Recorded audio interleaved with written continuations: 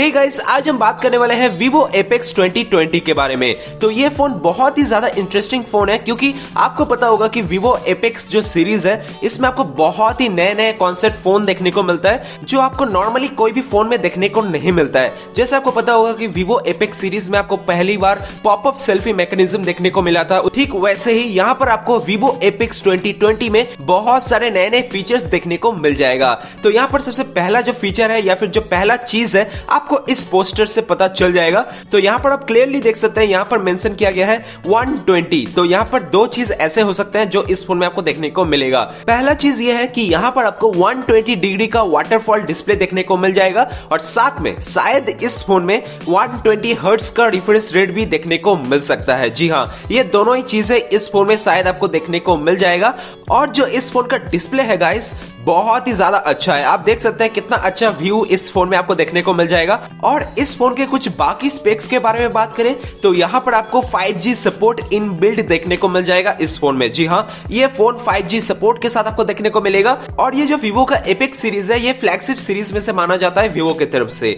तो यहाँ पर फ्लैगशिप फ़ोन होने की वजह से यहाँ पर आपको फ्लैगशिप प्रोसेसर भी देखने को मिल जाएगा। जी हाँ इस फ़ोन में आपको स्नैपड्रैगन 865 का पावरफुल प्रोसेसर देखने को मिल जाएगा। क्योंकि ऑब्वियसली यहाँ पर आपको 5G का सपोर्ट मिल रहा है। साथ में यहाँ पर आपको बहुत सारे नए नए नए फ्लैगशिप वाले चीज़ें इस फ़ोन में आपको देखने को मिल जाएगा। और यहाँ पर अगर आप इस फ़ोन के बैक डिज़ाइन को अगर अच्छे से देखें तो आप देख सकते हैं यहाँ पर जो कैमरा केसिंग है, यहाँ पर आपको सर्कुलर डिज़ाइन में देखने को मिलेगा। जैसे आपको नए नए जितने भी वन प्लस के डिवाइसेस देखने को मिलते हैं वन प्लस सेवेंटी प्रो में, उसमें भी आपको यही डिज़ाइन देखने को मिला था। ठीक ऐसे ही यहाँ पर आपको सर्कुलर डिज़ाइन इस फ़ोन में भी देखने को मिल जाएगा। लेकिन यहाँ पर जो कैमरा है, ये थोड़ा सा अलग आपको इस बार देखने को मिलेगा। क्योंकि हमें इसको देख के यही लग रहा है कि यहाँ पर आपको पीछे डुअल कैमरा देखने को मिल जाएगा। साथ में जो प्राइमरी कैमरा है, ये होगा 48 मेगापिक्सल का। जी हाँ यहाँ पर आपको प्राइमरी सेंसर मिलेगा 48 मेगापिक्सल का। साथ में यहाँ पर आपको एक पेरिस्कोप लेंस भी मिलेगा। आप देख सकते हैं जो सर्कुलर डिज़ाइन है, उसके अंदर आपको एक स्क्वायरी कटआउट देखने को मिलेगा। तो ये एक पेरिस्कोप लेंस है तो हमें ऐसा लगता है कि ये डायरेक्टली टक्कर देने वाला है। Samsung Galaxy S twenty Ultra को क्योंकि वहाँ पर भी आपको बहुत ही ज़्यादा पावरफुल कैमरा देखने को मिलता है और साथ में बहुत ही अच्छा जूम भी देखने को मिल जाता है, क्योंकि Samsung Galaxy S twenty Ultra में आपको 100x तक का डिजिटली जूम देखने को मिल जाएगा और 10x का हाइब्रिड जूम देखने को मिल जाता है। और इस फ़ोन की बात करें तो यहाँ पर आप देख सकते हैं छोटे छोटे अक्षरों से लिखा गया है कि यहाँ पर आपको फाइव से 7.5x तक का हाइब्रिड जूम शायद इस फ़ोन में आपको देखने को मिल जाएगा।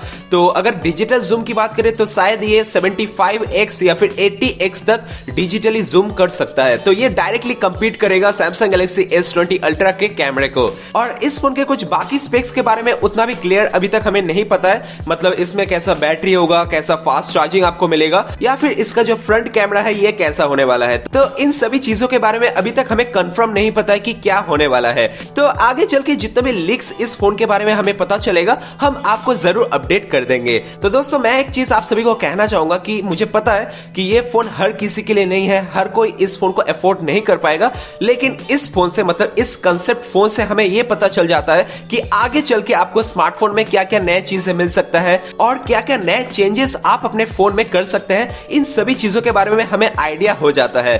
तो आपको ये फ़ोन कैसा लगा एपेक्स 2020 आप नीचे मुझे कमेंट करके ज़रूर बताइए। तो दोस्तों, आपको अगर ये फ़ोन अच्छा लगा हो या फिर मेरा वीडियो अच्छा लगा हो तो आप मेरा चैनल को सब्सक्राइब करके मुझे सपोर्ट कर सकते हैं। तो मिलते हैं अगले वीडियो में। Thanks for watching